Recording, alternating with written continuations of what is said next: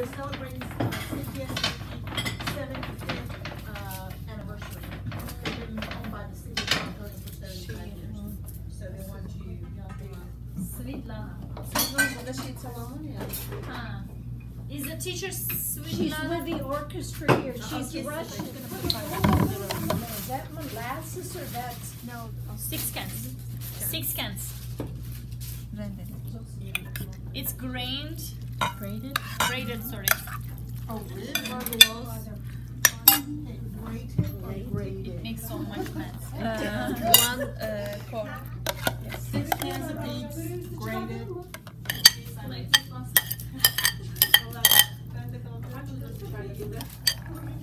That's why she's so fit.